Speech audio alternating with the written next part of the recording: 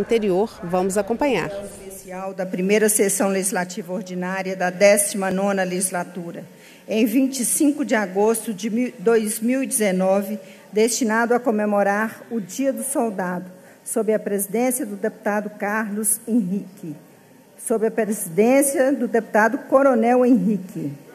Às 20 horas e 10 minutos, o presidente declara aberta a reunião. Comparecem os deputados Bruno Engler e Coronel Henrique.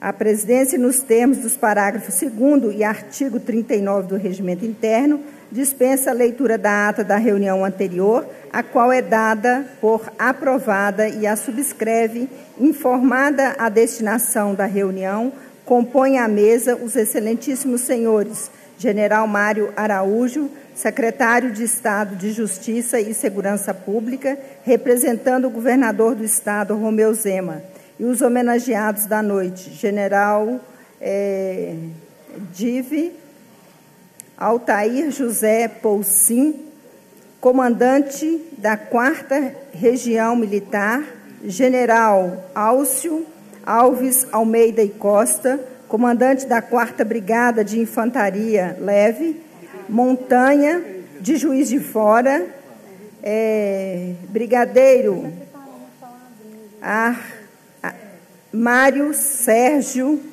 Rodrigues da Costa, comandante do Centro de Instrução e Adaptação da Aeronáutica, CIAR, CMG, Nicásio Satiro de Araújo, comandante da Capitania Fluvial de Minas Gerais.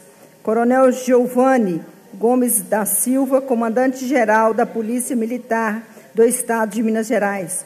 Coronel Edgar Estevo da, da Silva, comandante-geral do Corpo de Bombeiros Militar do Estado de Minas Gerais.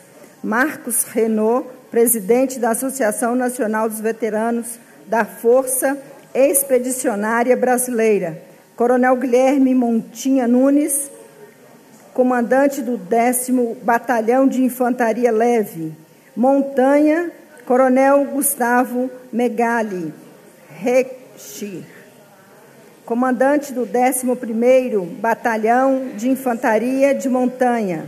Tenente Coronel Rui Martins da Mota, comandante do 12º Batalhão de Infantaria Leve, Montanha, e Tenente Coronel Marcos Aurélio, comandante do 10 do 4 Esquadrão de Cavalaria Mecanizado. Registrada a presença dos convidados, houve-se um hino nacional. Após exibição de vídeo, fazem uso da palavra o presidente, autor do requerimento que deu origem a esta homenagem e após entrega de placas, o senhor general Tife Altair José Poulsim.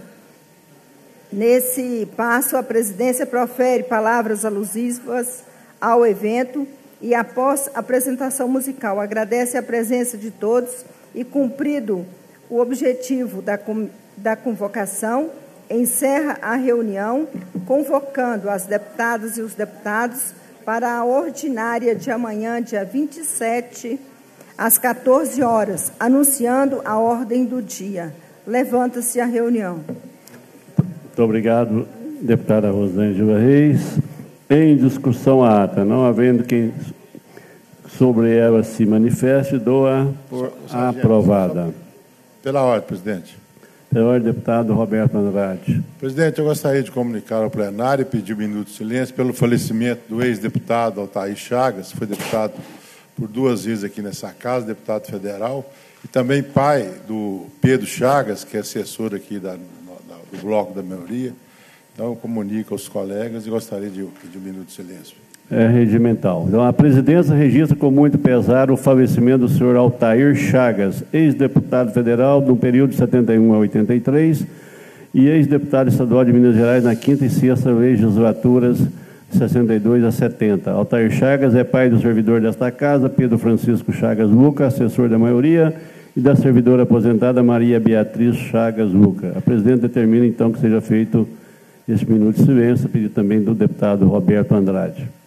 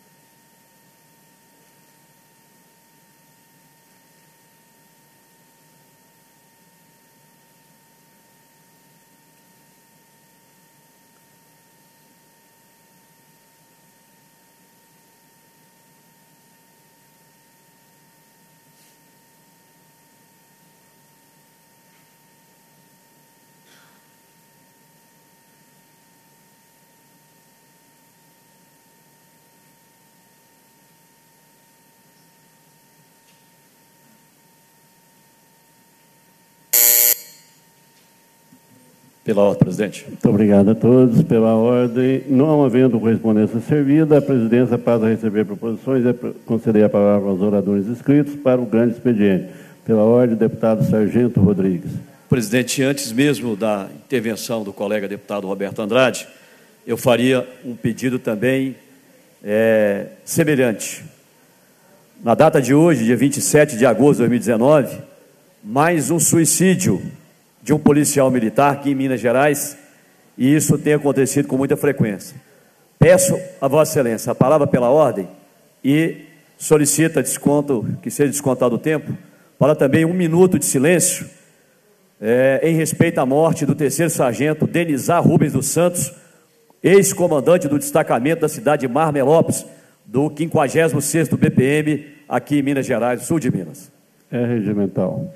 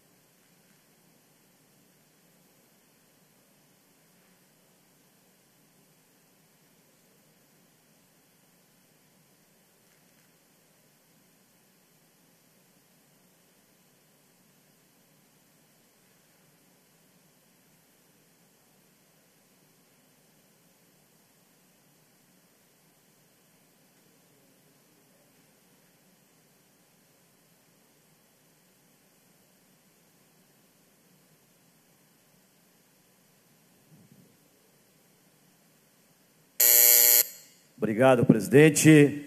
Eu queria, presidente, dando continuidade à nossa palavra pela ordem, dizer que é com imenso pesar que nós estamos assistindo um aumento exagerado, mas muito exagerado, do suicídio dos profissionais de segurança pública. Não só policiais militares, policiais civis, bombeiros, agente penitenciário e sócio-educativo. Na semana passada, Tivemos o suicídio do cabo PM Francisco Carlos Barroso Nolasco Júnior, que postou inclusive nas redes sociais. Era lotado na, na 17ª Companhia do 34º BPM, que fica ali na região do bairro Caiçara, região noroeste de Belo Horizonte. Ele chegou a postar, antes de cometer o suicídio, a seguinte frase na sua página do Facebook, abre aspas, foram nove anos na Polícia Militar e eu vos digo, Caros amigos, cuidem-se. A polícia é super estressante e no meu e como no meu caso pode ser fatal. E tem sido fatal, senhor presidente. Este ano é eclodiu uma série de suicídios dos profissionais de segurança pública. E uma das causas, hoje mesmo recebi uma mensagem através do WhatsApp, em que o policial manifesta da seguinte maneira, que eu faço questão de ler aqui apenas três parágrafos da mensagem.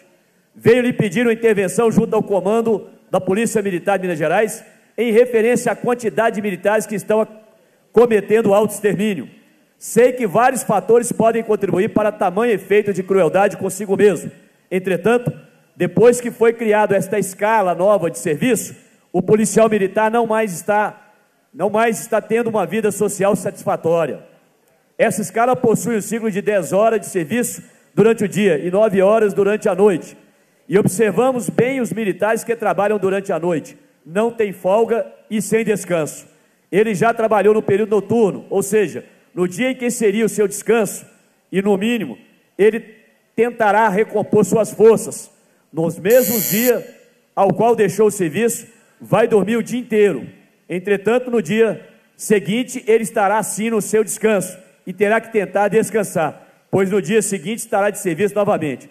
Sendo assim, uma pergunta: onde está sua folga? Se observarmos, ela não existe. Faz necessário trazer o seu conhecimento que, como a escala atual, o número de suicídios aumentou consideravelmente em nossa instituição. Como eu disse, claro que não é somente isso, mas os militares estão ficando sem vida social. E isto é fundamental, desaguador das tragédias que vem assolando toda a tropa. A maior reclamação que vem ouvindo no seio da tropa é referente à escala atual. pois, segundo a maioria, tem atrapalhado o convívio do militar com seus familiares. A tropa clama por socorro e precisa ser ouvida. Senhor presidente, faço essas considerações para trazer aqui que, infelizmente, é, hoje é, o governo aperta o comando da Polícia Militar e os comandantes vêm apertando os policiais militares.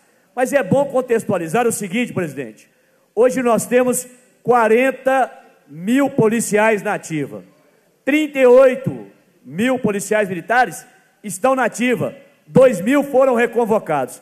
Este efetivo, a falta de efetivo, presidente, vem impactando decisivamente para que comandos apertem seus subordinados, cobrando escalas estressantes e cobrando empenho. Aqui mesmo, no comando, na, na, na, na região, do Comando do Policiamento da Capital, a primeira RPM, nós temos notícia que o comandante da primeira região tem cobrado dados estatísticos 24 horas por dia. Ou seja, ele pensa apenas em números e esquece que quem está na ponta da linha precisa desse convívio social, precisa estar com a família.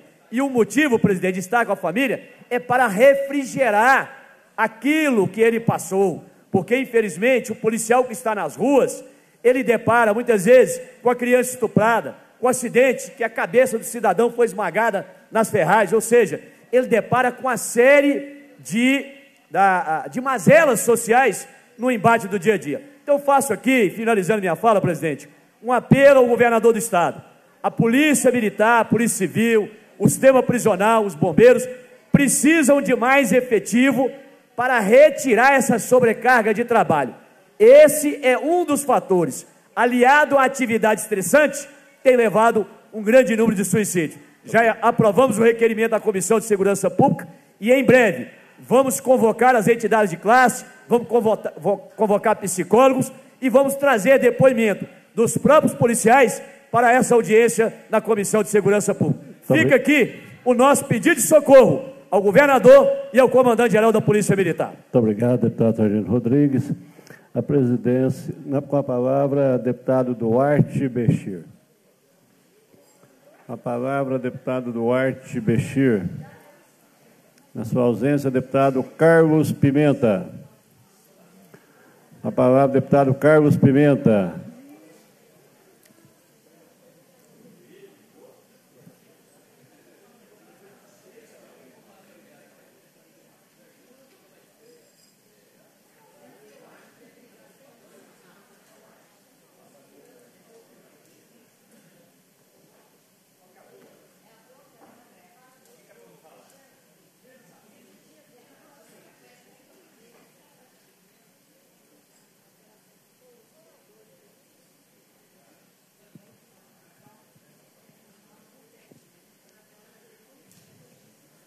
Senhoras senhores, boa tarde.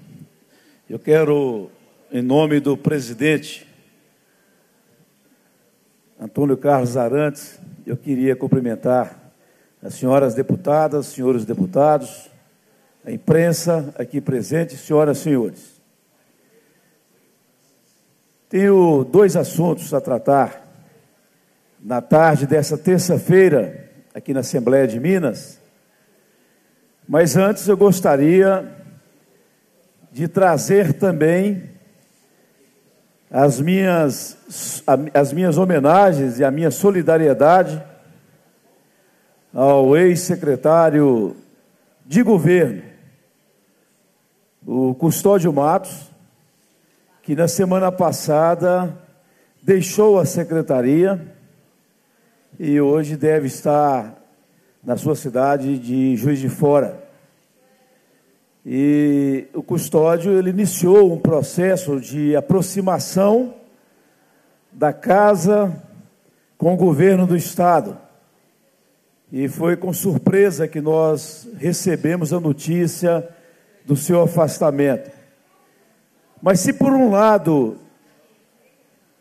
houve essa mudança, tirando um nome que já estava acostumado a frequentar a Assembleia, os gabinetes, que tinha proporcionado o diálogo, o debate.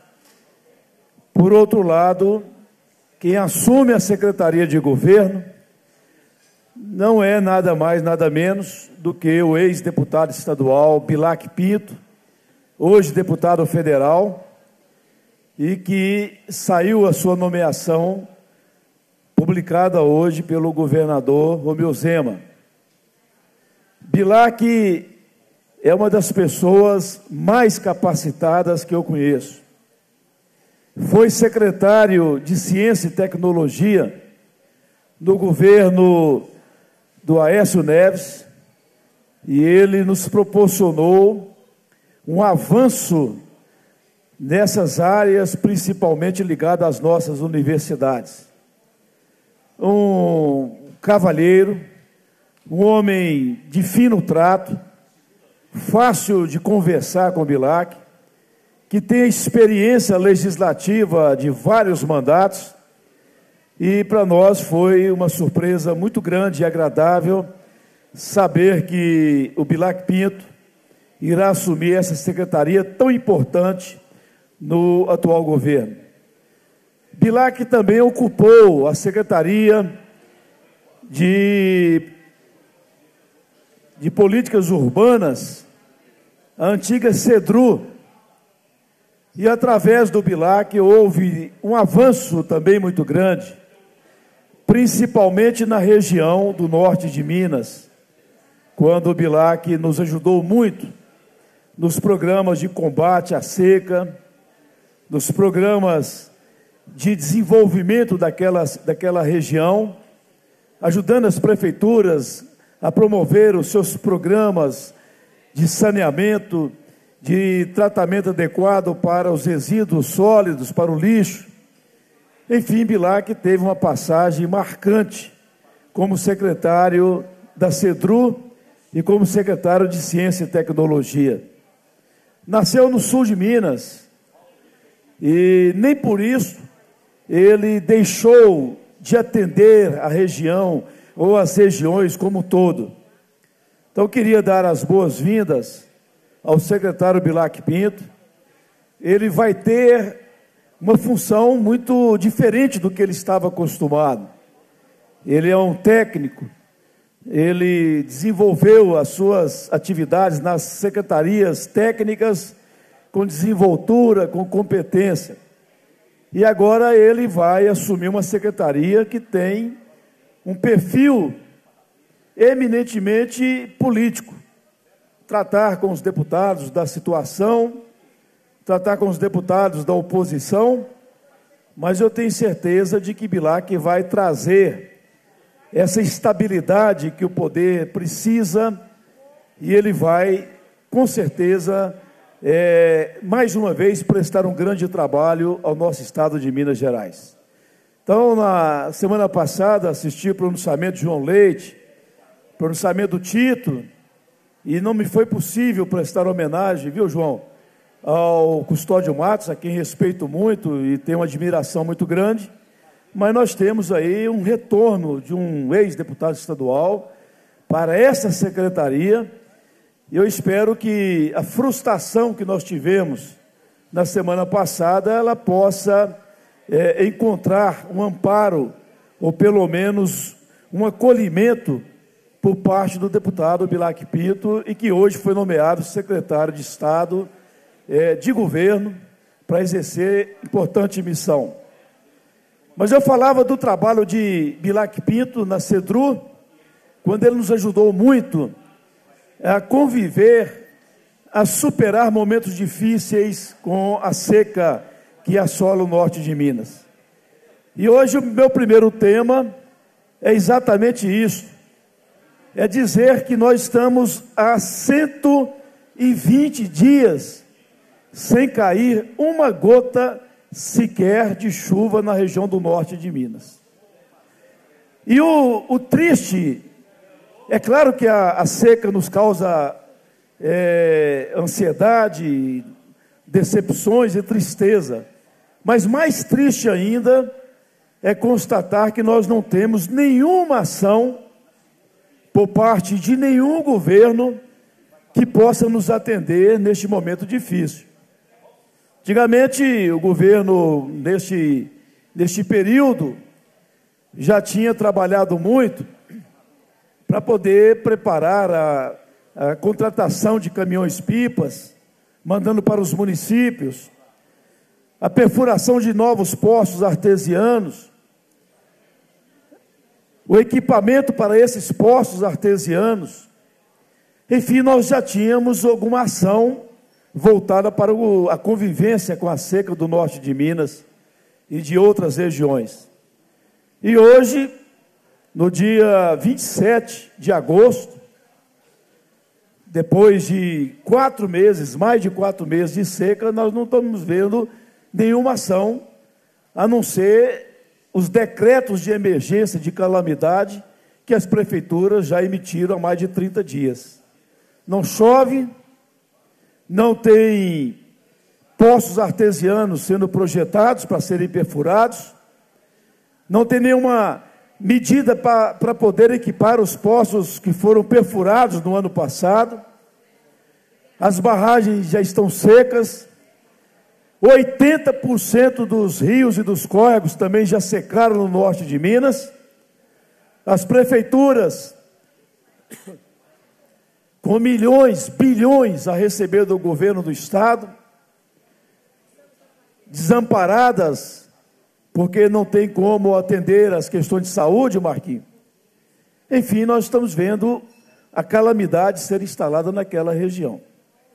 Quem mora em outras regiões não tem a dimensão do que é você viver numa região e ficar quatro, cinco meses sem ter chuva.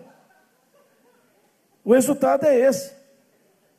Os poços secaram, os rios secaram, os córregos secaram, o gado morrendo, as pessoas não ter água para beber, as pessoas tendo que carregar uma lata de água na cabeça, mulheres sofridas lá do norte de Minas, por quilômetros, os jeguinhos, burrinhos, jumentinho carregando também latas de água para poder trazer a água para casa. E é isso que nós estamos vivendo lá naquela região. Então eu queria neste momento, pedir a solidariedade de, dos senhores deputados, das senhoras deputadas.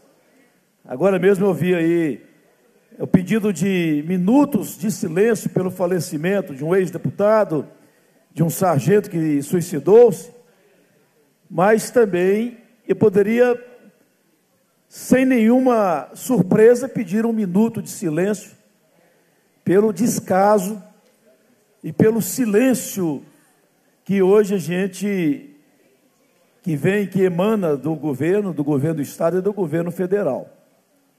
É importante que o senhor Zema, seu governador Romeu Zema, ele possa recriar aquele gabinete de emergência para tratar da, da do, do estado de calamidade que está aquela região. Sabemos que as pessoas, que o governo do estado não tem dinheiro para isso, não tem dinheiro para obras, mas o governo, ele tem que trazer para a nossa região ações mínimas. Olha, ninguém pode ficar sem isso aqui, não. A pessoa pode ficar até quatro dias sem comer nada e não morre. Mas se ficar um dia, dois dias sem beber água, morre.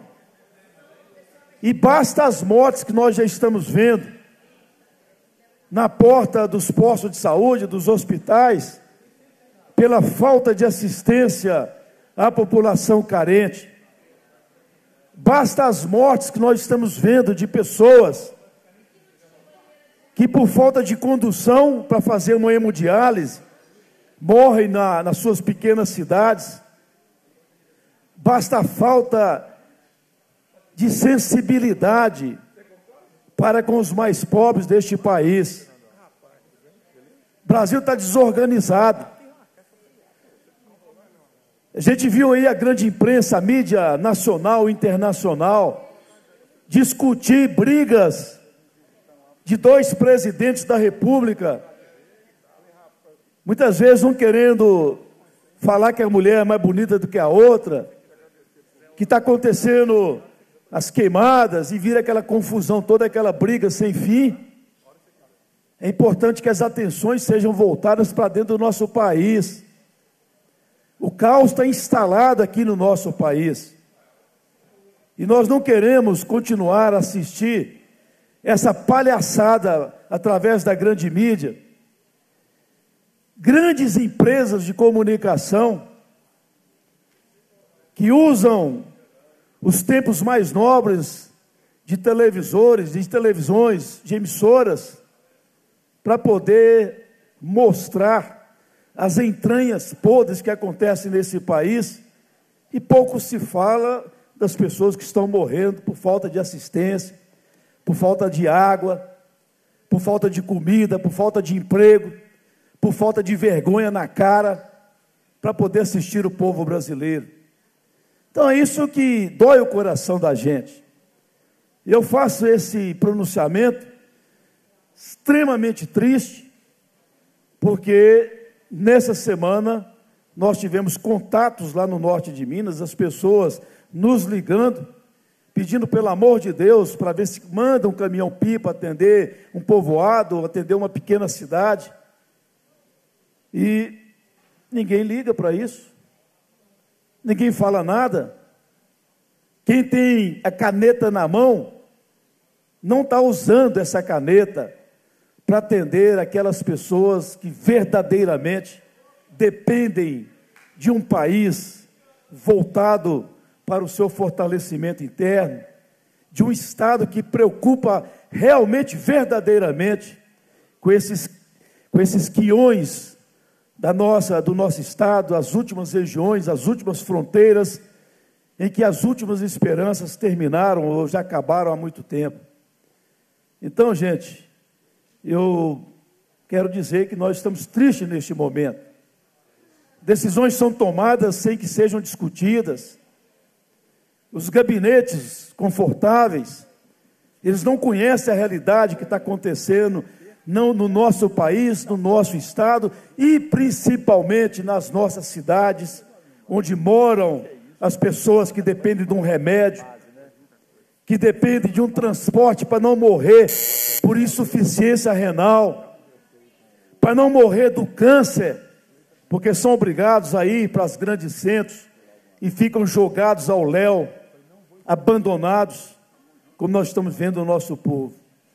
Então eu queria, neste momento, mesmo que eu não venha pedir este minuto de silêncio, mas eu quero celebrar, no fundo da minha alma, do meu coração, este silêncio, em resposta ao silêncio de quem pode fazer e não está fazendo, para poder salvar o nosso povo, a nossa gente, para poder levar água para o povo beber para levar remédio, para levar saúde, para levar esperança. Muito obrigado.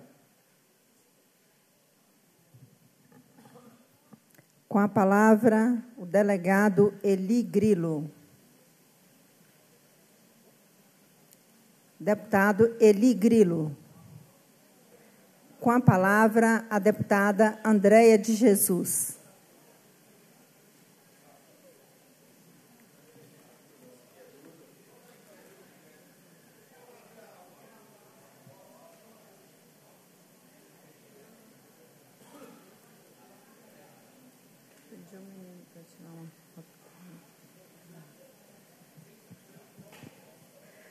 Boa tarde às colegas deputadas, deputados. Boa tarde à mesa. Fico muito feliz de ver uma mulher aí no centro dessa mesa. Deputada Rosângela. Boa tarde àqueles que nos assistem pela TV Assembleia, aos presentes aqui na plenária. É, eu tomo a tribuna hoje para trazer, para fazer referência a três relatos que eu acho que é importante falar já no início da semana. Primeiro é dizer que nós da Comissão de Mulheres, estou aqui a presidenta da Comissão de, de Defesa do Direito das Mulheres, Marília Campos, a gente é solidário e a, a deputada Ana Paula, que hoje saiu nas redes, na, na mídia, né, o desafio que é para as parlamentares exercer a maternidade, uma vez que nessa casa ainda não tem, não tem previsão no regimento a licença maternidade, né? É, não traz, traz não só uma reflexão para nós mulheres, mas também o compromisso de nos movimentar e não ser só solidária a Ana Paula, mas as demais mulheres que compõem ou irão compor esse espaço legislativo, fazer com que o direito à maternidade também faça parte do regimento parlamentar, reconhecer que isso é parte da política e é parte do direito das mulheres ser mulher. Um outro ponto que o deputado mais cedo falou, que também me assusta muito, é o número de suicídios entre os agentes de segurança pública, né, inclusive prioritariamente entre os militares. Dizer também que a gente já se posicionou aqui na casa durante a Assembleia Fiscaliza pedimos, é, fizemos requerimento pedindo os dados de letalidade no Estado, justamente porque na, na Assembleia Legislativa, durante a Assembleia Fiscaliza, é, o comandante-geral da Polícia já trouxe essa preocupação e nós já prontamente já manifestamos que é interessante, é importante a casa saber como tá esses números para a gente também atuar nos direitos humanos da, dos agentes de segurança, quando a gente fala em pensar em outra política de segurança pública, inclui sim aqueles trabalhadores que estão é, inseridos nessa política.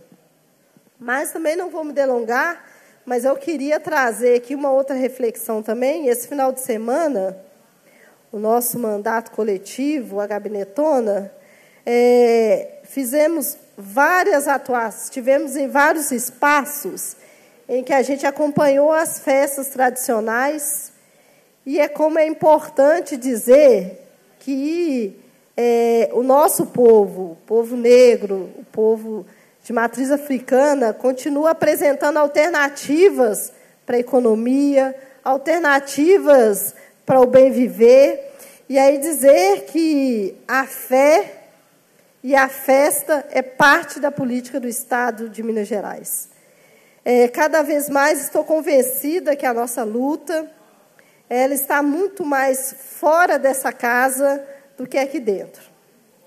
E como é importante os nossos atos e iniciativas a favor da cultura, a favor da religiosidade das comunidades tradicionais, da liberdade e do secretismo porque eu estou trazendo aqui uma referência de luta associada à festa e à fé. A luta não é fácil, mas se faz mais do que necessária. Estamos nessa luta, estamos juntos com as igrejas pentecostais.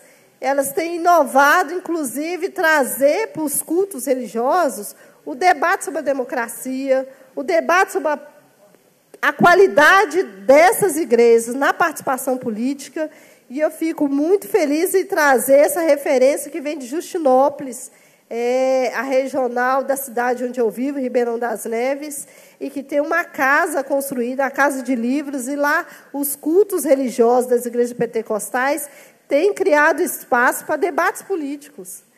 É muito importante dizer que é, os religiosos não só de matriz africana, mas os negros e negras têm se organizado em diversas formas de manifestação religiosa para discutir política.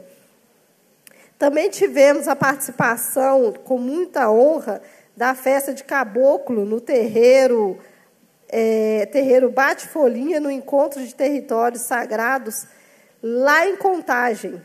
Então, assim, Ribeirão das Neves, um debate interreligioso que passou por essa, é, pela Casa dos Livros, um espaço cultural que fez um, um debate, um culto religioso, também passamos por Contagem, onde um terreiro é, também de candomblé, onde é, tinham mais centenas de pessoas comendo junto, festejando e também pensando nessa proteção do território como um ato político. E, e também conseguimos fazer o encontro, que eu considero o encontro mais emocionante desse mês, que é trazer os quilombolas do Piauí, na pessoa do Nego Bispo, que é uma referência, inclusive, no Encontro Saberes da Universidade Federal. Ele veio dar aula na Universidade Federal e encontrou com o mestre Zisseu, que é um mestre de tambor lá em Ribeirão das Neves. E falando de alternativas para a economia, dizendo o quanto essas comunidades movimentam a economia produzindo produzindo as suas festas, produzindo seus tambores, instrumentos musicais, e hoje eles estão presentes nas universidades federais falando desses saberes. Extremamente importante, e, e, e reforçando que, inclusive, a UENG também tem caminhado nesse consórcio, nessa, nessa, nessa relação com o sagrado, introduzindo isso na, na universidade, na grade curricular de todos os cursos. Começa pelo curso de matemática, porque fazer instrumento musical é uma habilidade afrodescendente que está sendo levado pelas universidades através desses mestres, que protege o território, gera renda e gera saberes que hoje está sendo reconhecido pelas universidades. Também visitamos é, em Belo Horizonte, e aí falar com muita alegria, do sexto encontro de cortejo de Omolu, aqui no bairro Concórdia, muito pré, próximo da gente. Já é o sexto ano em que eles levam para a rua a cerimônia e o sacramental, que é para eles extremamente importante, que é a festa de Omolu, protegendo aquele bairro, mas também fazendo a discussão de que cidade nós queremos.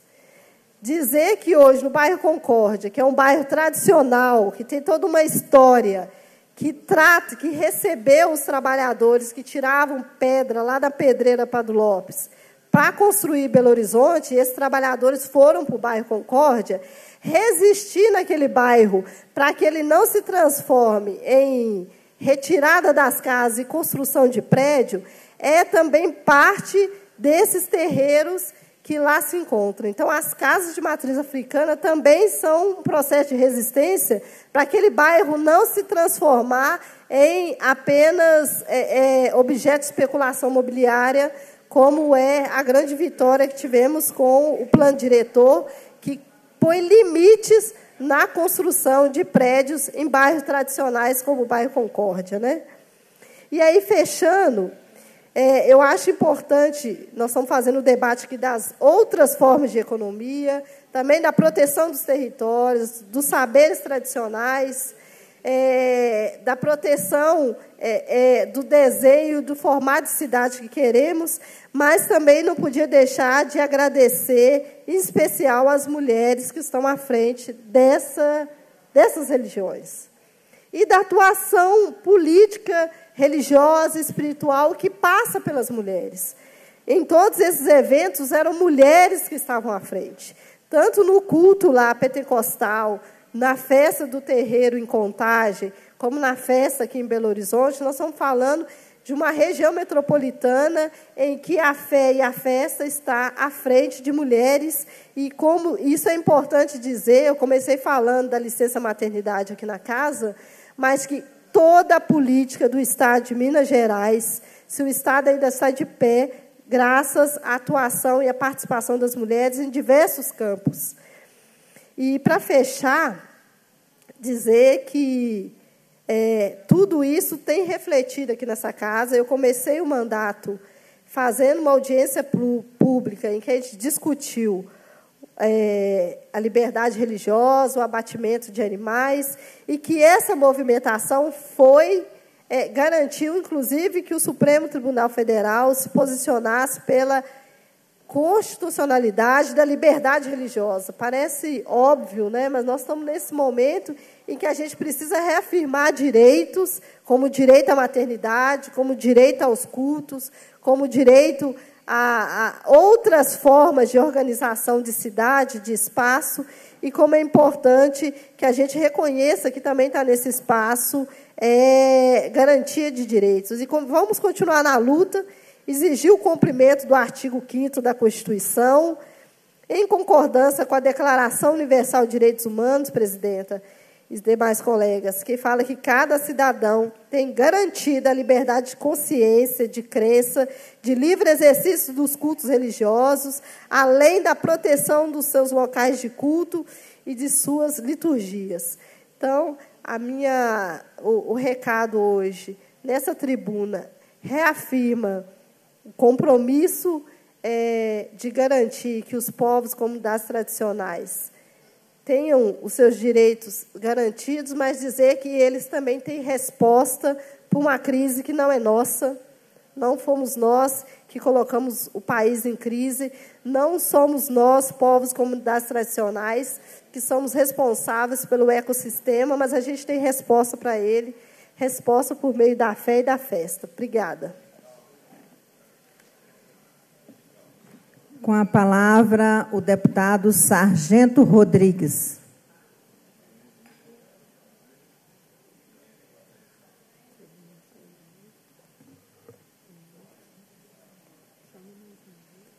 Com a palavra, o deputado Sargento Rodrigues.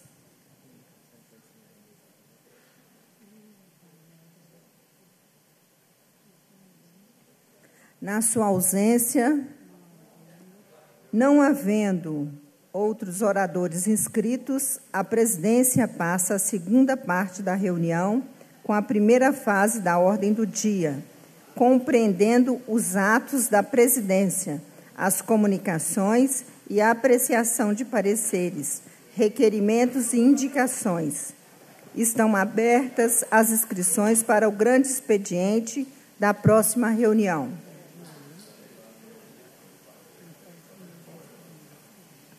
Atos da Presidência e Comunicações. Decisão da Presidência. A Presidência, no uso de suas atribuições, reforma despacho anterior e determina que o projeto de lei 1014 de 2019 seja distribuído também à Comissão de Administração Pública, em razão da natureza da matéria ficam mantidos a distribuição às comissões de, de Justiça e de Fiscalização Financeira e os demais atos processuais praticados até o momento.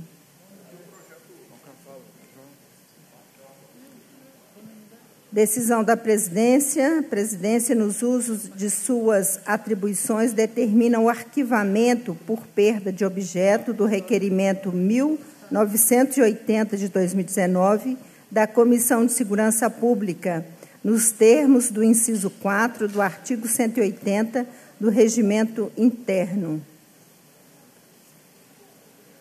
Comunicação da Presidência. A Presidência comunica que foram aprovados exclusivamente, nos termos do parágrafo único do artigo 103 do Regimento Interno, os requerimentos números 2510 a 2512 de 2019 da Comissão de Segurança Pública, 2521 de 2019 da Comissão de Defesa do Consumidor. Publique-se para os fins do artigo 104 do Regimento Interno, em 27 de agosto de 2019. Comunicações. A Comissão de Segurança Pública comunica a apreciação conclusiva de matéria na reunião ordinária de 27 de 8 de 2019. Ciente Publix. Comunicações do deputado professor Cleiton, comunicando sua desfiliação do Democracia Cristã a partir do dia 28 de junho de 2019 e sua filiação ao Partido Socialista Brasileiro, PSB, a partir da mesma data. Ciente publique-se cópia às comissões e às lideranças e do deputado Cássio Soares, líder do Bloco Liberdade e Compromisso, é, líder do Bloco Liberdade e Progresso, indicando o deputado delegado Eli Grilo como membro efetivo da comissão especial para emitir parecer sobre a proposta de emenda à Constituição 21 de 2019, na vaga do deputado Coronel Henrique. Ciente, designo as comissões.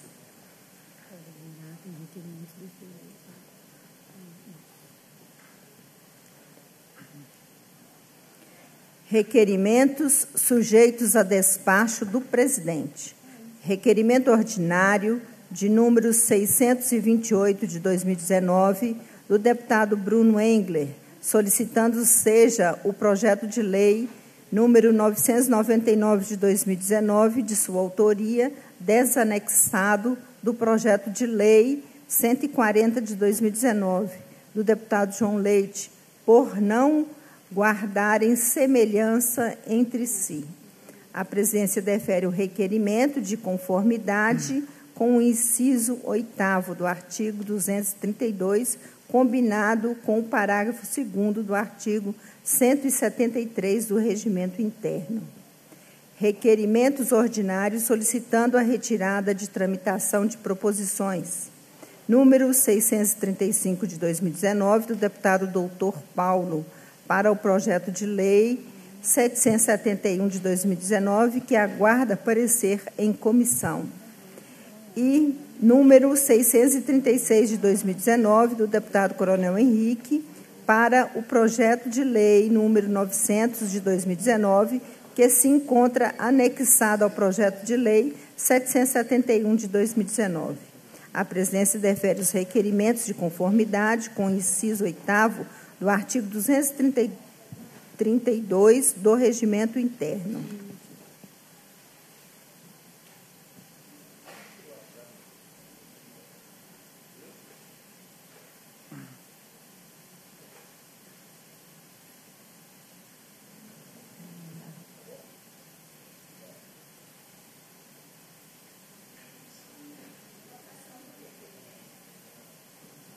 Votação do requerimento 568 de 2019 da Comissão de Transporte, em que requer seja encaminhado ao secretário de Estado de Transportes e Obras Públicas, CETOP, pedido de informações sobre a rodovia MG 167, que liga os municípios de Varginha e Três Pontas, especificando que já existe projeto de restauração e construção da terceira via em pontos de aclives e qual o prazo para o início das obras. A mesa da Assembleia opina pela aprovação do requerimento na forma do substitutivo número 1, que apresenta. Em votação, o substitutivo número 1. As deputadas e os deputados que o aprovam permaneçam como se encontram. Aprovado. Votação do requerimento número 636 de 2019 da Comissão de Direitos Humanos, em que requer seja encaminhado ao presidente da Companhia de Habitação do Estado de Minas Gerais pedido de informações sobre a situação da regularidade do pagamento de auxílio pecuniário às famílias da ocupação William Rosa, em Contagem, em especial sobre o atraso no pagamento do benefício no ano de 2019. A mesa da Assembleia opina pela aprovação do requerimento em votação o requerimento. As deputadas e os deputados que o aprovam permaneçam como se encontram. Aprovado o requerimento. Votação do requerimento número 1278 de 2019 do deputado professor Irineu, em que requer seja encaminhado à secretária de Estado de Educação e ao governador do Estado pedido de informações sobre o projeto de escolas em tempo integral no Estado e o número de alunos atendidos por essas escolas. A mesa da Assembleia opina pela aprovação do requerimento na forma do substitutivo número 1, que apresenta. Em votação, substitutivo número 1. As deputadas e os deputados que o aprovam permaneçam como se encontram. Aprovado o substitutivo. Em votação do requerimento 1000 474 de 2019, da Comissão da Pessoa com Deficiência, em que requer seja encaminhado à secretária de Estado de Desenvolvimento Social pedido de informações sobre a previsão de realização na próxima Conferência Estadual dos Direitos da Pessoa com Deficiência. A mesa da Assembleia opina pela aprovação do requerimento. Em votação, requerimento. As deputadas e os deputados que aprovam permaneçam como se encontram. Aprovado o requerimento. Votação do requerimento número 1572 de 2019 da deputada delegada Sheila, em que requer seja encaminhado ao diretor-geral do Departamento de Edificações e Estradas de Rodagem do Estado de Minas Gerais, pedido de informações sobre a previsão de início das obras de restauro e reforma do prédio onde funcionava a Escola Estadual Delfim Moreira, no município de Juiz de Fora. A mesa da Assembleia opina pela aprovação do requerimento. Em votação, o requerimento. As deputadas e os deputados que aprovam permaneçam como se encontram. Aprovado o requerimento. Votação do requerimento de número 1932 de 2019 da Comissão de Participação Popular, em que requer seja encaminhado a presidente da Companhia de Saneamento de Minas Gerais pedido de informações sobre o quantitativo atual de poços tubulares existentes e em operação no Estado, em especial nas regiões do Vale de Actionha e no Vale do Mucuri. A mesa da Assembleia opina pela aprovação do requerimento. Em votação, o requerimento. As deputadas e os deputados que o aprovam permaneçam como se encontram. Aprovado o requerimento. Votação do requerimento 1936 de 2019 da Comissão de Participação Popular, em que requer seja encaminhado ao presidente da Copasa serviços de saneamento integrado do Norte e Nordeste de Minas Gerais, Copanor, pedido de informações sobre o uso de tecnologias sociais e sustentáveis no abastecimento de água e tratamento de esgoto nas cidades na área de abrangência de atuação da Copanor. A mesa da Assembleia opina pela aprovação do requerimento. Em votação, o requerimento. As deputadas e deputados que aprovam permaneçam como se encontram. Aprovado o requerimento. Votação do requerimento 1937 de 2019 da Comissão de Participação Popular, em que requer seja encaminhado a presidente da Companhia de Saneamento de Minas Gerais pedido de informações sobre o desenvolvimento de tecnologias sustentáveis para o abastecimento de água e o tratamento de esgoto nos municípios do Estado. A mesa da Assembleia opina pela aprovação do requerimento. Em votação, o requerimento. As deputadas e deputados que aprovam permaneçam como se encontram. Aprovado o requerimento. Votação do requerimento 2092 de 2019 da Comissão do Trabalho, em que requer seja encaminhado ao diretor-presidente do Banco de Desenvolvimento de Minas Gerais, SA, pedido de informações sobre o estudo acerca da MGS, Administração e Serviços, em especial relativamente às implicações da demissão de funcionários dessa empresa. A mesa da Assembleia opina pela aprovação do requerimento. Em votação, o requerimento. As deputadas e deputados que aprovam permaneçam como se encontram. Aprovado o requerimento. Pela ordem, presidente. Com a palavra pela ordem, o deputado Fernando Pacheco. Boa tarde, presidenta dessa sessão, Rosângela Reis, todos os que estão nos assistindo pela TV Assembleia Boa tarde aos deputados e às deputadas presentes, os funcionários que estão aqui também trabalhando. Eu venho, nesse momento, registrar em plenário um agradecimento e uma, um resumo da bem-sucedida audiência pública Plataforma de Bioquerosene Renováveis da Zona da Mata, onde a Comissão de Assuntos Municipais e Regionalização, na qual a presidenta dessa sessão também é presidenta da comissão e presidiu essa audiência.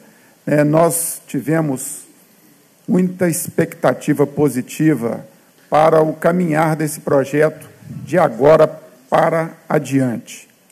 Nós entendemos que, de tão bem sucedida que foi a reunião, ela poderá, de forma célere, chegar ao âmbito do governo executivo estadual para que o mesmo possa institucionalizar esse projeto, encaminhando para os seus órgãos, para o PPAG que está por vir, para o orçamento também poder abranger investimentos e parcerias desse projeto Plataforma de Bioquerosene e Renováveis da Zona da Mata, que visa primordialmente, do ponto de vista econômico, fomentar o combustível verde na aviação civil comercial, que vem causando danos na atmosfera com os gases poluentes, o CO2. E, dessa forma, com a macaúba e o extrativismo vegetal do seu óleo, esse combustível iria eliminar 80% da poluição ambiental. E o fator econômico é preponderante para ter aceitação, né? E tudo constituir um largo projeto sustentável. Até chamamos para uma possibilidade de ser a primeira fronteira agrícola sustentável do mundo, porque é uma planta endêmica da zona da mata, da Mata Atlântica, que tem um poder de performance do óleo três vezes maior do que o óleo da palma. Ela nos moverá a uma condição de protagonismo na zona da mata e no estado de Minas Gerais, e daí para diante o cenário é mundial. Poderemos atingir grandes mercados da aviação civil do mundo, como empresas de renome internacionais, já estão sabendo desse projeto e querem ser parceiros desse projeto.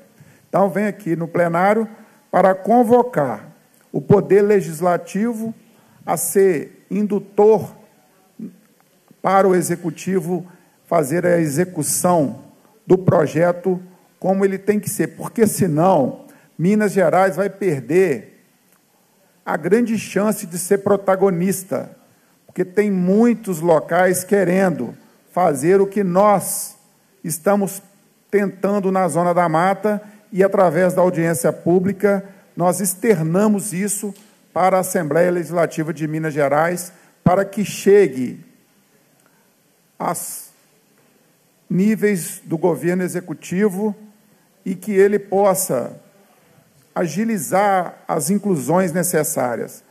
É, estarei atento, peço à deputada Rosângela Reis que possa me ajudar na continuidade disso, para chegarmos até as secretarias de governo e fazer a implantação do projeto de forma executiva mesmo, como tem que ser. Não pelo deputado, porque nosso poder não é esse, mas entregando para o Poder Executivo a chance de acerto, de crescimento econômico, de sustentabilidade, de qualidade de vida, onde empresários industriais, comerciantes, políticos e ambientalistas seriam todos beneficiados. E com isso, o nosso Estado poderia sair da situação de insegurança para ir para uma situação de melhor garantia. Então, essa era a minha condição de estar aqui hoje para registrar em plenário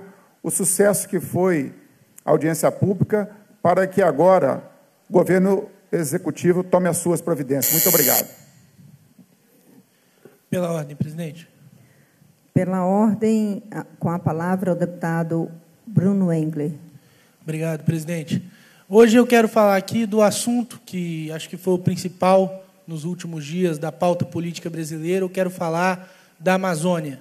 Em primeiro lugar, parabenizar o governo Jair Bolsonaro, que está tomando as medidas necessárias para conter os incêndios, que já mandou o exército para a Amazônia para tomar conta daquela região, pelo menos enquanto o problema estiver numa situação grave. E quero também destacar a situação internacional vexatória praticada por um palhaço que tem um pensamento colonialista que acha que pode mandar no Brasil. A França é um país que tem um território na Europa um pouco menor do que o nosso estado de Minas Gerais, mas que emite mais CO2 do que o Brasil inteiro. O senhor Emmanuel Macron preside um país que sediou o Acordo de Paris, mas que não cumpre o acordo que leva o nome da sua capital. Ele quer ensinar o Brasil a tomar conta dos seus incêndios, mas não consegue tomar conta nem de uma catedral importantíssima para todos os católicos. Ou quem não viu aqui a imagem chocante da catedral de Notre Dame em chamas. Só que este cidadão que acha que pode mandar no nosso país decidiu levar ao G7 a questão da Amazônia para que os outros países pudessem tomar conta do nosso território. Só que ele não foi acompanhado por ninguém, porque o Brasil colocou uma posição assertiva, teve o apoio do presidente americano Donald Trump, teve o apoio do primeiro-ministro britânico Boris Johnson, teve o apoio até de pessoas com quem já trocou farpas, como a Angela Merkel. E Macron ficou isolado e no relatório do G7 nada tem sobre a Amazônia ou sobre a pauta ambiental do Brasil. Infelizmente, esse senhor achou que encontrar aquele Brasil que foi chamado de anão diplomático por Israel, um Brasil subserviente que aceita a agenda dos países ditos desenvolvidos de cabeça baixa como se fosse inferior a eles. O Brasil agora ele mostra ao mundo a sua autonomia e a sua soberania. Nós sabemos cuidar do que é nosso. E fico muito feliz ao ver as manifestações de apoio e as ofertas de ajuda sinceras de países como Israel, que, mesmo sob ataque, oferece ajuda ao Brasil, e dos Estados Unidos, que hoje o presidente americano colocou que os Estados Unidos dão todo o apoio ao nosso país.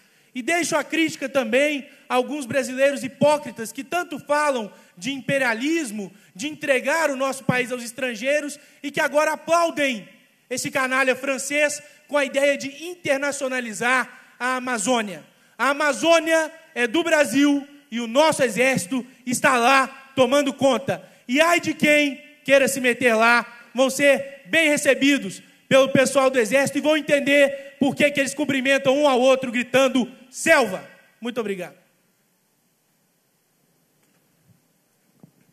Com a palavra o deputado Virgílio Guimarães. Muito obrigado. Ordem. Muito obrigado, senhora presidenta. Eu queria aqui, deputado Bruno Engler, concordar parcialmente com o vosso pronunciamento, no sentido de que a Amazônia é brasileira. Já estive lá diversas vezes, visitei o projeto, o, o projeto Cránia Norte, conheço bem, já participei das manifestações, ah, vi o trabalho do Exército Brasileiro ali. Evidentemente, não posso, de maneira nenhuma, concordar com a política ambiental que está sendo conduzida pelo atual governo, de maneira alguma. A questão da Amazônia, ela tem, ela é brasileira, a Amazônia é do Brasil, nós temos responsabilidades com a Amazônia e com o planeta. Essa dualidade tem que fazer parte de todo ser humano, não é nenhuma falta de, de soberania que o mundo se preocupe, que acontece ali na Amazônia, não é nenhuma falta de soberania quando o resto do mundo se preocupa com agressão de direitos humanos em qualquer país. Portanto, parcialmente, aqui concordo, é absurdo alguém poder questionar a, a autonomia do Brasil sobre a Amazônia, mas também é um absurdo qualquer governo brasileiro não cumprir com suas responsabilidades para com o planeta, e essas responsabilidades são também em relação à nossa riqueza, que é a Amazônia, e à nossa população. Mas eu vim aqui a, a essa tribuna, a esse microfone, senhora presidenta, foi para comunicar a minha viagem que fiz a Brasília. Cheguei agora há poucos minutos. Fui oficialmente aqui pela Assembleia Legislativa de Minas e eu tinha, é, apenas dar o relato dessa viagem que fui fazer lá. Eu tinha dois compromissos em Brasília, um que foi ontem, mais no final da tarde, hoje, hoje pela manhã. Ontem tive uma reunião com a equipe do ministro Gilmar Mendes que está cuidando da questão da de formular um acordo a respeito da criação de um, da, da, nova lei que, que viria a regulamentar o artigo 91 da DCT da Constituição Federal, que cuida da compensação dos créditos de CMS é, pela desoneração das exportações. Eu fui, é, há muito tempo, aliás, durante toda a minha trajetória, eu fui de comissões de Sistema Tributário e Orçamento, participei da Constituinte, fui também relator exatamente desse, desse item. E, em função disso, uma reunião extremamente proveitosa, esclarecendo pontos importantes sobre o que diz aquele, aquele dispositivo constitucional. Não fui cuidar da questão do, das chamadas dívidas pretéritas. Isso aí já o nosso presidente, o nosso governador, presidente da Assembleia, o deputado Chico Patrus, esteve lá em Brasília com, a, com um grande número de deputados representantes aqui dessa casa, apresentando sua proposta a respeito desse, desse tema. Porém, eu fui cuidar foi de, de algo complementar a isso, que é a lei complementar que regulamenta o artigo 91, que viria, de fato, a resolver as questões futuras, inclusive se vai servir de base para o cálculo também de perdas pretéritas. E foi esse o assunto, fiz um relatório, depois vou encaminhar uma cópia do relatório que elaborei lá junto com a equipe técnica para conhecimento da casa. Hoje pela manhã, aproveitando a viagem que já estava marcada, foi marcada pelo doutor, pelo, pela equipe do ministro Gilmar Mendes, o doutor é, Veras, doutor Veras, que fez lá, é, doutor Diego Veras, o magistrado, encarregado pelo ministro Gilmar para cuidar tecnicamente desse tema, e aproveitei para estar hoje pela manhã na Agência Nacional de Mineração. Fui cuidar da questão do socialmente importante, que são o, o, os areieiros da cidade de São Francisco. Lá tem uma, um trabalho artesanal importante, mais de 200 famílias, um trabalho centenário, alguns são filhos, netos de pessoas que têm a sua vida recolhendo areia, e eles estão passando uma dificuldade enorme exatamente porque não conseguiram ainda a legalidade de ter a, a, um direito minerário para essa, essa atividade. Já entrei aqui, houve uma mudança da legislação, estive lá muito bem recebido pelo doutor Bica, que vai tomar as providências no sentido de fazer uma interpretação mais favorável, que não implique em colocar em disponibilidade para leilão. Claro que esses areieiros não têm condição de atender a leilão, disputa nesse nível, mas existem possibilidades legais de fazer um atendimento face à prioridade da questão social.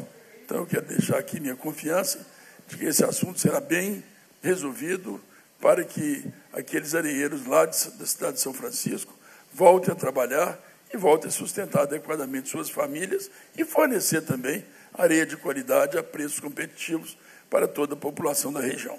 Era esse o relatório que queria dar da minha viagem de ontem e hoje a Brasília. Muito obrigado. Presidente, ordem. Vou passar o Sargento Rodrigues, mas antes eu vou ler, chegaram agora duas comunicações, que eu vou fazer a leitura e depois passo a palavra a Vossa Excelência. Do deputado Dalmo Ribeiro Silva, renunciando à vaga de membro efetivo da, na CPI do Mineirão. E do deputado Gustavo Valadares, líder do bloco Sou Minas Gerais, indicando seu nome para membro efetivo da CPI do Mineirão em substituição ao deputado Dalmo Ribeiro Silva. Ciente designo as comissões. Com a palavra pela ordem, o deputado Sargento Rodrigues. Presidente, eh, agradeço Vossa Excelência. Eu estava inscrito na tribuna, mas em face de estar acumulado o trabalho com a Comissão de Administração Pública, não pude fazer uso do pinga-fogo. Mas, voltando aqui, presidente, a uma fala que eu iniciei aqui anteriormente, com relação ao número de suicídios que vem alarmantemente crescendo com os profissionais de segurança pública. Eu conversava agora com o deputado Coronel Sandro, com o deputado Bruno Engler, e estou aqui há 20 anos exercendo mandatos. Nunca, e fiquei 15 anos na Polícia Militar, eu nunca vi uma situação tão preocupante como nós estamos vivendo nesse momento. E eu queria aqui novamente dar outra ênfase à minha fala anterior. Olha, a Polícia Militar, segundo a lei de efetivo, a última lei aprovada nessa casa, deveria ter hoje 51 mil policiais militares na ativa. Tem 38 mil policiais militares na ativa e 2 mil reconvocados. O, a questão do efetivo, a falta do efetivo, isso agravou e muito durante o desgoverno do PT, os quatro anos que ele prometeu 12 mil, a contratação de 12 mil, e não conseguiu sequer repor o número de policiais que haviam aposentado durante os últimos quatro anos do seu governo. E o que, que acontece, presidente? Isso vem fazendo com que haja uma sobrecarga de trabalho dos policiais militares. Eu estou falando especificamente para servir como exemplo das outras carreiras também. A sobrecarga de trabalho vem trazendo um adoecimento de toda a tropa, dos profissionais de segurança pública. Porque você vai no sistema prisional, a sobrecarga também existe. Você vai na Polícia Civil, está muito mais carente há pelo menos há uma década. Então isso vem impactando decisivamente no adoecimento psicológico, psiquiátrico desses profissionais de segurança pública. E isso faz com que, eu disse agora mesmo com um colega deputado, quando eu servia no comando de viatura, às vezes eu participava de uma troca de tiro e uma situação muito tensa. Mas chegava em casa, você tinha, e separava a família, mas você tinha ali uma coisa que era extraordinária. Quando você chegava e encontrava o seu filho, o sorriso do seu filho, aquilo funcionava como um refrigerador para que a gente pudesse diminuir aquela tensão do combate ao crime. Porque você tem poeira, sol, chuva, madrugada e a denúncia que os policiais vêm fazendo constantemente e pela Comissão de Segurança Pública, a qual tem dado voz, que é as escalas estressantes. Hoje nós temos o governo aperta o comando, o comando geral aperta os comandantes de batalhões que têm apertado a tropa, inclusive com estatísticas, operações atrás de operações e um engessamento da escala, não permitindo o convívio social que é fundamental para uma terapia desses profissionais de segurança pública. Aliado a isso, você tem a tensão da rua, uma troca de tiro. Você, quando desloca com a viatura em alta velocidade para atender uma ocorrência de assalto, você não sabe com o que você vai deparar se é com fuzil, se é com revólver 38, com a metralhadora. E em outra circunstância, você vai para uma ocorrência de trânsito, você encontra uma situação de uma vítima toda esfacelada, com o crânio é, arrebentado, com as vísceras para fora. Isso tudo vem impactando. Em outra ocorrência, ele chega, a criança está estupada. Então, ele vai absorvendo aquele que a gente chama ao longo da carreira das mazelas sociais aliado à pressão de uma escala estressante, faz com que traga o adoecimento desses profissionais de segurança pública. E isso o governador precisa olhar com muita urgência. E por fim, obviamente, também que não poderíamos deixar aqui de falar, a questão de um parcelamento de salário, que levou ao endividamento. O endividamento leva a problemas familiares, a discussões internas, porque todo chefe de família e toda chefe de família sabe que isso acontece no dia a dia, isso tudo junta e forma essa bola de neve e faz com que o nosso pessoal venha praticar o extermínio. Nós já aprovamos, deputado Grilo, né? Vossa Excelência, que é vice-presidente da comissão e também é policial, sabe exatamente o que nós estamos trazendo aqui. Um requerimento de minha autoria. Faremos um debate para discutir esse alarmante índice de suicídio dos profissionais de segurança pública na Comissão de Segurança Pública.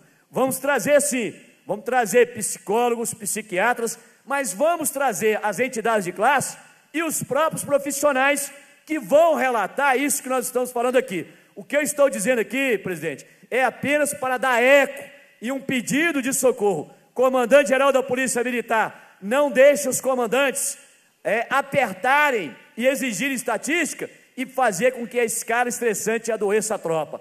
Chefe da Polícia Civil, não deixe também que a falta de efetivo venha adoecer os profissionais da Polícia Civil. Secretário de Segurança, Mário, General Mário, não deixe que a superlotação das cadeias e a falta de contingente do sistema prisional venha adoecer esses profissionais, porque os índices de suicídio têm ganhado os contornos, eu diria, alarmantes. E isso nós vamos discutir com absoluta responsabilidade mas o governo, o poder executivo e o chefe de polícia precisam tomar providências imediatas com relação ao efetivo, à sobrecarga de trabalho e às escalas, para tentar minimizar esse sofrimento e esse alarmante índice de suicídio dos profissionais de segurança pública. São essas minhas questões de ordem, senhora presidente. Pela ordem, o deputado Eli Grilo. Senhora presidente, senhores deputados, eu ouvi aqui o deputado Sargento Rodrigues fazer um, um desabafo pertinente. Nós estamos realmente preocupados. Nós nunca vimos tanto suicídio nas polícias. A Polícia Civil que não tinha muita coisa nesse sentido. Hoje nós estamos assustados porque vira e mexe é um escrivão, um investigador É, e não faz tempo eu estive em Uberlândia, no sepultamento de um investigador que tirou a própria vida, praticou lá o autoextermínio. Nós temos é, preocupados, e tem muito a ver a questão da falta de material humano, sim.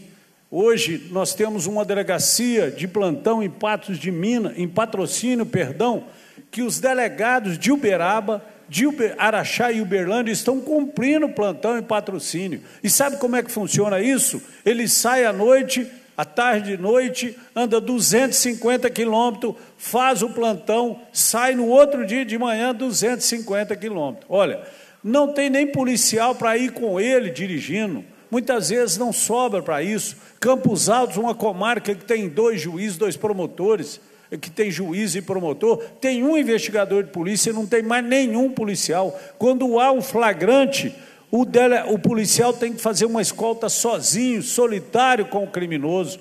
Nós temos Conceição das Alagoas, que não tem delegado, e tem dois juízes e dois promotores. Então nós precisamos salvar estes policiais. Além do risco que nós temos de ter o autoextermínio, presidente, nós temos também o risco de acidente nas estradas para esses policiais que fazem plantão é, em outras localidades.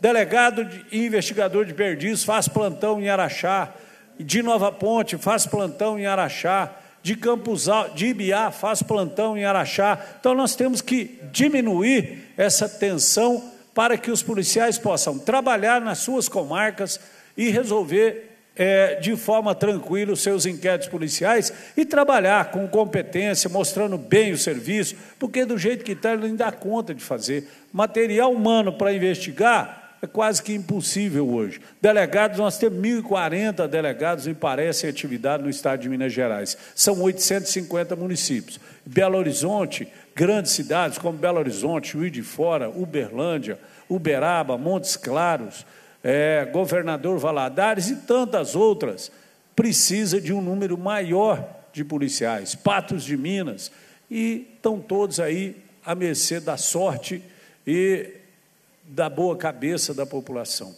Então, é, nós queremos fazer coro a essa manifestação do Sargento Rodrigues e dizer que não é só a Polícia Militar, ele disse muito bem: sistema prisional passa por um momento terrível falta de material humano, é, muita gente entrando em estresse, se afastando por doença. Então, ou o governo dá um jeito de consertar isso, o que está acontecendo no sistema prisional?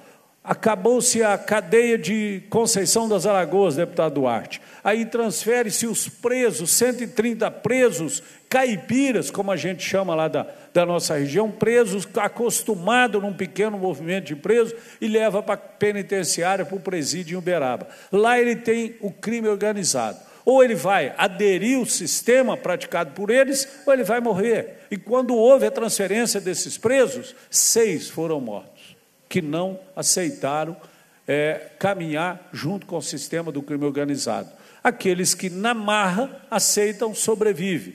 Então, nós não podemos exigir de nenhum ser humano que haja contrário a essa posição.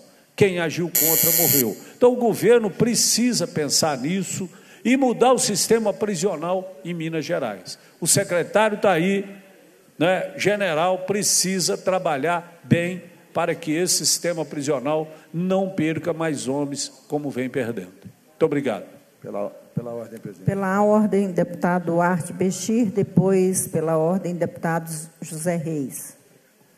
Ok, senhora presidente, o motivo primeiro da minha manifestação não seria a pauta aqui trazida pelos deputados Sargento Rodrigues e delegado doutor Eli Grilo mas, sobretudo, quero manifestar o meu apoio, o reconhecimento de que a polícia, para trabalhar como qualquer outro funcionário, mas em decorrência da frequência de como a polícia trabalha, na exaustão, ela tem que ter o mínimo de descanso, o reconhecimento, e isso não está acontecendo. Eu apelo ao bom senso do secretário de Segurança, aos líderes de governo para que reveja a posição que hoje é colocada a Polícia Militar e a Polícia Civil, o estresse que tem levado ao autoextermínio isso é culpa do sistema que tem propiciado. Eu deixo aqui a minha manifestação de apoio às falas do deputado Sargento Rodrigues e do deputado doutor Eligrilo. Mas, senhora presidente, senhoras e senhores deputados, a minha vinda hoje aqui não é a tribuna, mas nesse pela ordem, é que eu quero deixar uma manifestação aos municípios, aos prefeitos, vereadores, lideranças, onde estão ocorrendo as anexações dos cartórios que funcionam nos distritos, indo passar a funcionar no cartório da comarca, lá na cidade. São cartórios que têm mais de 100 anos de vida.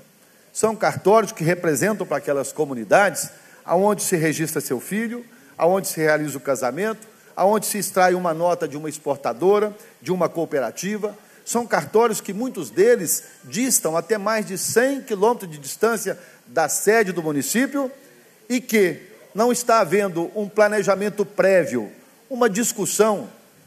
A função do parlamentar, a nossa função, ela é representativa. Nós somos a voz do povo aqui na Assembleia.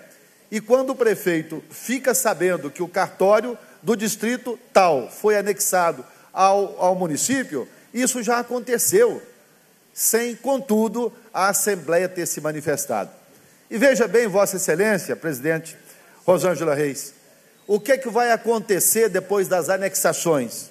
Se formata todas elas, elas vão ser formatadas, e aí vem para a Assembleia ratificar a decisão do Tribunal de Justiça ou não ratificar.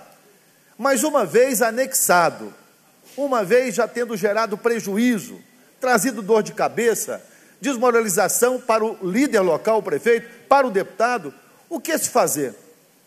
Se não houve tempo de discussão, se não houve, pelo menos da parte do Tribunal de Justiça, e nossa, ouvir o clamor, aquilo que o prefeito, aquela localidade tem, tem cartórios aí com distritos seculares, importantes da história de Minas Gerais, que já foram anexados. Ou seja, a legislação que quer ser aplicada para que esses cartórios sejam anexados, ela vai depender, no final, deputado Tramonte, da aprovação da Assembleia. Então, veja bem, Vossa Excelência, primeiro faz para depois nós aprovarmos. Se faz sem discussão, eu estive no Tribunal de Justiça e fui ao corregedor, e qual foi a minha surpresa, presidente Rosângela Reis? O que o corregedor afirmou: Olha, deputado Bexia, aqui só me cabe aplicar a lei. Aqui nesse momento não cabe as explicações que o deputado tem trazido para que eu possa mudar o meu posicionamento, se anexa ou não.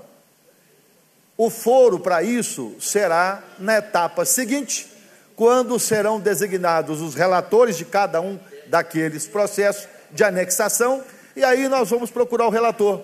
Só que, no caso de, de Campos Gerais, do Corre do Ouro, o cartório já foi anexado à cidade. Quer dizer, não tem mais o que fazer. Eu não vou ter oportunidade de discutir. Tive lá com o prefeito, tive lá com os vereadores do Corre do Ouro, e o cartório já foi anexado. Santo Antônio do Amparo tem duas exportadoras no distrito e precisa emitir as notas para que a, exportação se vá. O que, que vai acontecer? Eles vão pegar a rodovia, sai na Fernão Dias, da Fernão Dias pega vindo para Belo Horizonte, vão ter que ir a Santo Antônio do Amparo ou Bom Sucesso. Porque não vai ter cartório? Então, nós temos que ter em tudo que nós fazemos a razão social.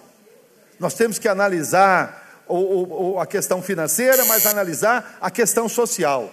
Abandonar essas pessoas nos distritos muitos deles longínquos da cidade, alguns com distância superiores a 100 quilômetros. E o que, que será? Então, a minha fala, presidente, vai de encontro ao posicionamento do deputado Marquinhos Lemos, do deputado Zé Reis, meu e do deputado Alencar, que nós aprovamos o requerimento na Comissão de Administração Pública, e terça-feira que vem, eu quero aqui, em alto e bom tom, terça-feira que vem, 14h30, é hora de prefeitos, vereadores, lideranças dessas comunidades, dos distritos, virem à Assembleia, se posicionarem, pelo menos agora, manifestarem para que depois possamos ter consciência do que está sendo feito, do que não pode e do que deve ser feito. Esse é o nosso recado, presidente. Muito obrigado. Agradecemos, deputado Duarte Bexir. Com a palavra, o deputado José Reis, pela ordem. Pela ordem, presidente Rosângela, todos que nos ouvem, nos assistem nesse momento. Venho aqui nesse momento singular. Né? Não posso deixar de reiterar a preocupação das forças de segurança, colocado aqui pelo deputado Eli, sargento Rodrigues, nosso Bruno Engler, logo mais cedo, nosso coronel também ali presente, da Polícia Militar. Uma preocupação gigantesca com as forças de segurança e, de fato, temos que preocupar, uma vez que os indícios né, não são bons, a verossemelhança do que vem à frente pode agravar e uma preocupação imensa e quero aqui endossar, né? Quero aqui endossar, viu, Coronel Sandro, a minha preocupação e da mesma forma a minha disponibilidade, né, junto com vocês. É claro, da mesma forma, né, parabenizando o nosso general Mário Araújo, que esteve a semana passada na bancada federal buscando recursos federais justamente para permitir melhores condições de trabalho, melhores condições de infraestrutura, melhores condições da corporação fazer o enfrentamento no dia a dia, tanto no setor administrativo quanto na rua. E também me traz aqui a esse momento, um momento muito delicado, que é a anexação dos cartórios. Os cartórios, especialmente os cartórios que não têm seus serventuários efetivos, que, diga-se de passagem, um grande um número imenso, um número significativo em todo o estado de Minas Gerais, e por exigência do CNJ, do Conselho Nacional de Justiça, né, o nosso desembargador, juiz corregedor, determinou uma extinção, uma anexação, uma extinção de forma indireta. Ou seja, cito o município de Montalvânia, onde já teve uma comarca anexada à comarca de, do município de Manga, Município esse que faz divisa do estado da Bahia, município esse predominantemente rural, e lá, nesse exato momento, está sendo anexado três cartórios. Ou seja, se nós tivemos a comarca sendo anexada, se nós tivemos agora os cartórios sendo anexados, o que mais? Tivemos em dezembro uma BR e a BR-030 sendo anexada, levada para o estado da Bahia. E será qual o próximo ato? Será o que que, o que, que notícia ruim será ser, ser, vai acontecer para o município de Montalvânia. Né? Não diferente, município de Chapada Gaúcha, que teve seu distrito de, Chapa, de Serra das Araras, seu cartório com data de 1940, que de uma forma rápida, abrupta, foi anexado, ou seja, foi extinto, acontecendo também em Januária e tantos outros municípios. Januária, o distrito de Brejo do Amparo, que também é um distrito mais velho do que a própria cidade de Januária, será anexado. Simplesmente logo mais teremos crianças jovens com 16, 20 anos de idade sem um único documento, ou seja, o documento principal, que é o certidão de nascimento. Pois distritos que estão a 100 quilômetros, 120 quilômetros de distância, os partos que hoje ainda é, infelizmente, uma realidade do sertão, ainda é uma realidade do norte de Minas, Muitas parturientes ainda nascem em casa justamente pela dificuldade e da qualidade de saúde da nossa região. Essa criança vai fazer o seu, o seu registro de nascimento onde? O seu casamento, o casamento regional, local, onde vai ser celebrado? De um distrito que não tem linha regular, um reconhecimento de firma simples de 5, 6 reais, ele vai ter que passar a pagar passagem para ir, quando encontrar alguém que possa levá-lo para a cidade, perder o seu dia de serviço, voltar com uma outra despesa e pagar as custas do cartório. Ou seja, um simples reconhecimento de firma de 5 ou 6 reais vai passar a custar 100, cento e poucos reais. Uma região que já tem sua, suas deficiências, já tem suas limitações de presença de Estado, ficará ainda muito mais ausente com a presença de Estado. E o que me espanta é a custo, é a relação custo. Embora é uma decisão do CNJ, como aqui repito, mas uma anexação que não há custo, porque o cidadão já paga o serviço. E justamente na contramão de uma decisão do STF, onde cria um modelo de cartório, o cartório da cidadania, posso assim chamar, onde permite não só os serviços de cartórios normais existentes, mas permite agregar esse cartório outros serviços, como expedição de identidade, carteira de trabalho e tantos outros serviços nesse mesmo cartório. Ou seja, no momento do Estado ir para próximo da população, nós estamos fazendo o caminho inverso. Nós estamos distanciando do cidadão. Nós estamos tornando ainda mais ausente na presença lá da vida do cidadão do sertão.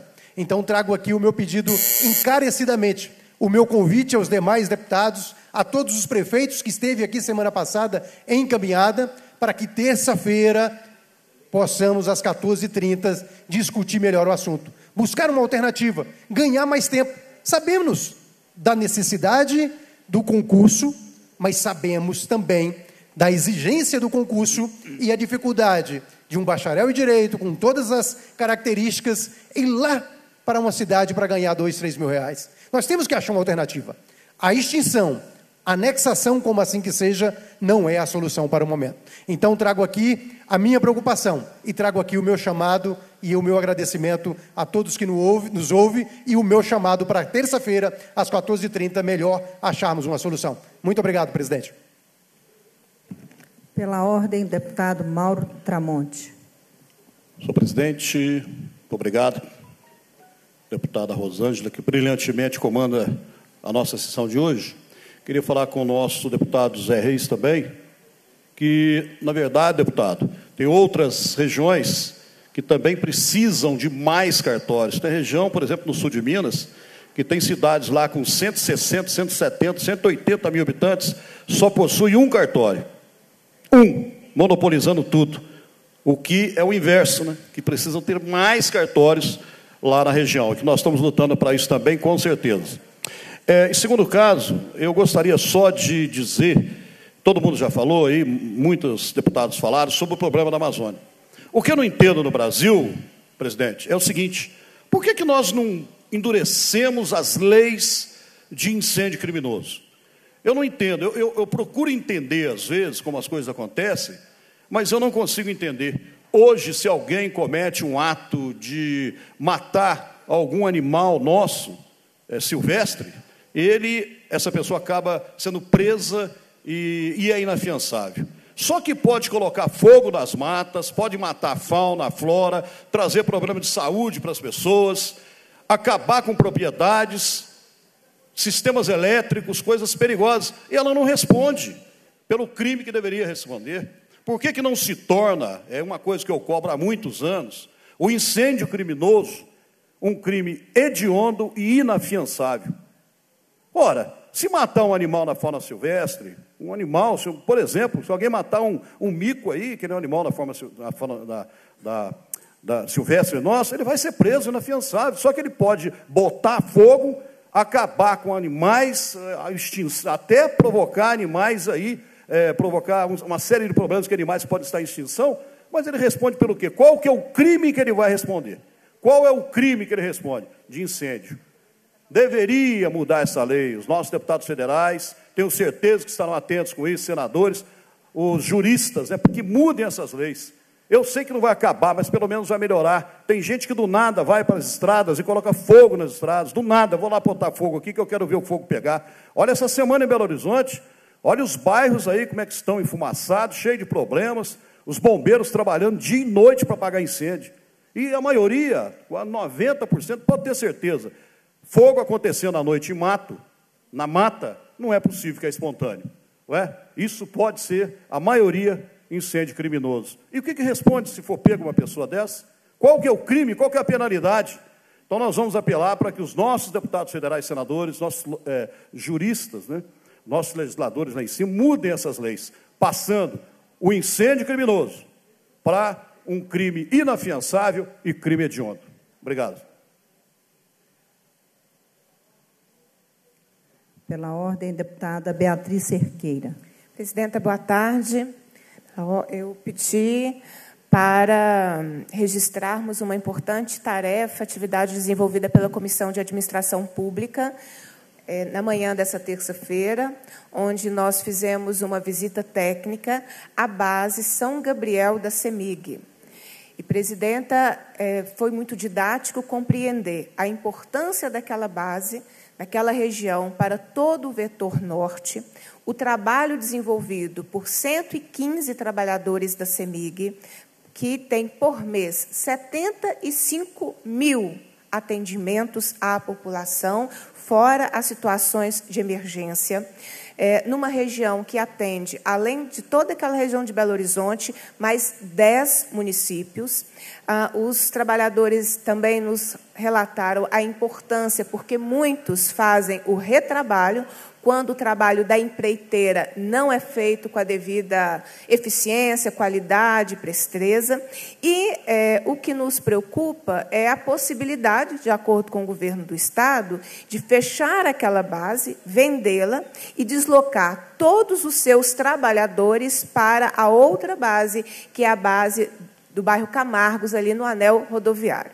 Esse deslocamento, que parece algo administrativo, burocrático, não é, significará mais tempo que a população esperará pelo atendimento mínimo, significará que o trabalhador não conseguirá fazer mais atendimentos durante o seu turno, em função de regras de deslocamento, as situações de emergência demorarão ainda mais e tenho dúvidas se serão sequer atendidas. E me espantou também também porque os dados do governo estadual é que a venda daquela base, o seu fechamento, é, ela é uma, é uma base que custa ao Estado um milhão de reais por ano.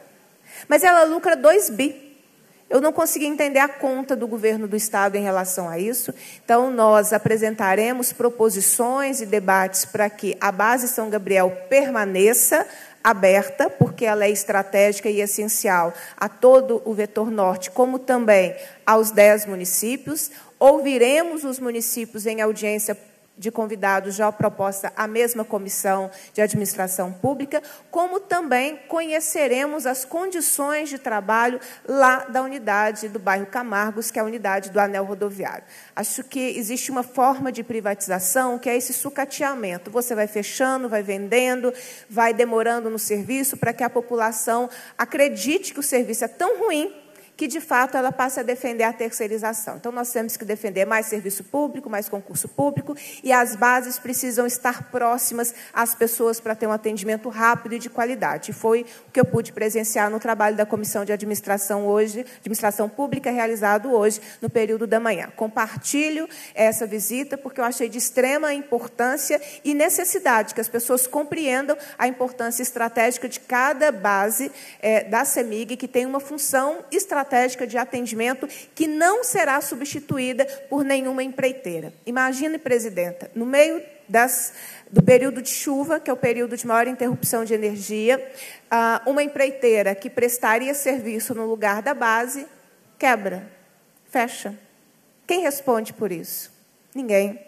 Mas quem responde pelo trabalho da CEMIG? Você tem o Estado. E as pessoas precisam ter a garantia da prestação de serviços do Estado. E não a entrega para a iniciativa privada, porque ela fica sem garantias, inclusive, de atendimento no momento que ela mais precisará. Então, compartilhe o nosso trabalho, hoje junto à Comissão de Administração Pública, e seguiremos fazendo os debates para o fortalecimento da CEMIG como estatal.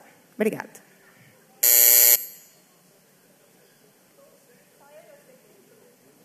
A presidência encerra a reunião e convoca as deputadas e os deputados para as extraordinárias de amanhã, dia 28, às 10 e às 18 horas, nos termos dos editais de convocação, e para a ordinária também de amanhã, às 14 horas, com a ordem do dia a ser publicada.